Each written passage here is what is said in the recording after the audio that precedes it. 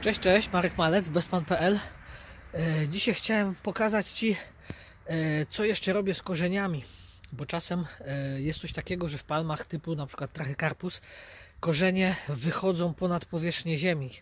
I to nie jest bezpieczna sytuacja, sytuacja dlatego że korzenie trachycarpusa wytrzymują około minus 6, minus 7 stopni.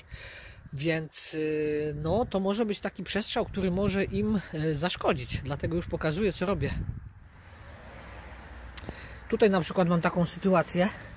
To jest Trachycarpus golas, którego ogoliłem, tak? I widać ewidentnie, że korzenie są ponad ziemię, tak? Więc jest to według mnie sytuacja naprawdę niebezpieczna. Taki mostek termiczny można powiedzieć, tak? E, Jeżeli tutaj leci kabel grzewczy, jest wszystko ogrzewane, nie ma problemu, ale póki ja na przykład nie okrywam do tam minus 10 stopni, to sytuacja jest niefajna. Dlatego co używam? Kupiłem wór ziemi i takie miejsca będę e, obsypywał ziemią, żeby tego nie było widać. Już jest obsypane, zajęło mi to 47 sekund. Ech. No i teraz jak będzie ewentualnie padał sobie jakiś deszcz, nie, to się będzie uklepywać, potem oczywiście jeszcze się, jeszcze się trochę dosypie jak będzie trzeba, ale już w jakiś sposób jest to zabezpieczone, tak? A teraz pokażę e, w drugiej palmie, w której korzenie wystawały naprawdę mocno, co zrobiłem.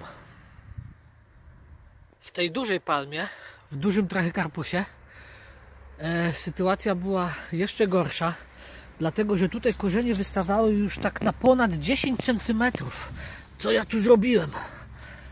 E, teraz tego nie widać, ale pod spodem jest taka folia ze styropianem.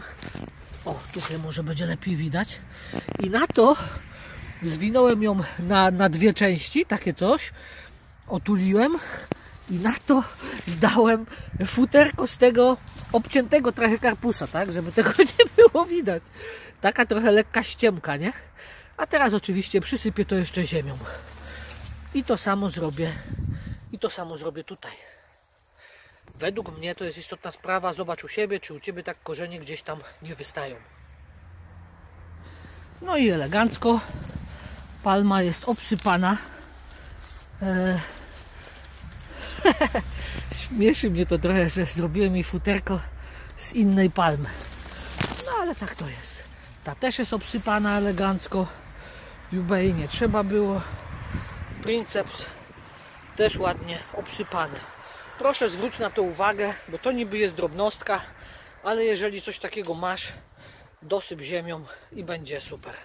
Życzę Wam wspaniałego dnia. U mnie dzisiaj minus 2 stopnie, jest mroźno cały dzień.